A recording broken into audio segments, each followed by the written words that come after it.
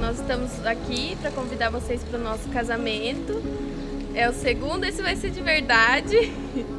Que vai ser no dia 19 de outubro, às 17 horas, na igreja São Judas. Tá vendo, pai? Deu certo. Desencalhou uma.